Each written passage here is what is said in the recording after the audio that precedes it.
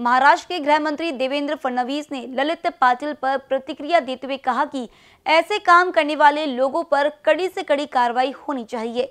साथ ही उन्होंने कहा कि ड्रग्स मामले में एक जंग हो रही है। महाराष्ट्र में सभी और कार्रवाई की जा रही है। की अशा प्रकारे ड्रग्सच्या संदर्भात जे जे लोक कुठल्या प्रकारचा व्यवहार करत जे जे इन्व्हॉल्ड असतील जेवढे कडक कायदे आहेत ते सगळे कायदे त्यांच्यावर लावण्यात येतील.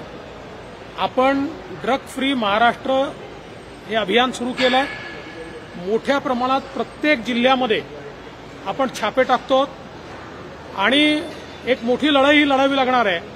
पण ही राष्ट्रीय स्तरावर देखील आता आपण लढणं सुरू केलं आहे आणि आपण बघितलं असेल की जेव्हापासून आपण हे सुरू केलं मोठ्या प्रमाणात इंटरस्टेट मुवमेंट देखील आपण त्या ठिकाणी ट्रॅक करू शकलो.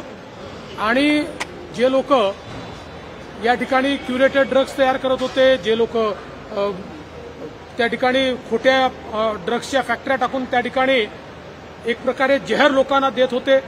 अशा सगळ्या लोकांवर कारवाई सुरू झालेली आहे.